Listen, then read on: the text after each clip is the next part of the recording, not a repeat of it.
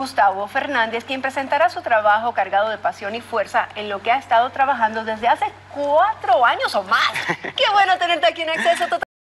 Gracias, a ustedes por la invitación. Muy lindo tu arte. Aquí tengo una pieza muy linda, rosada, pequeñita para mí. Cuéntame un poquito acerca de esta exhibición y lo que nos has traído en el día de hoy. presento mi nueva exhibición 1 en Design District este viernes a las 7 y media de la noche. Eh, como comentaste, he estado más de cuatro años trabajando porque presento por primera vez desnudos, mis dibujos de desnudos realistas, que la gente no los conoce.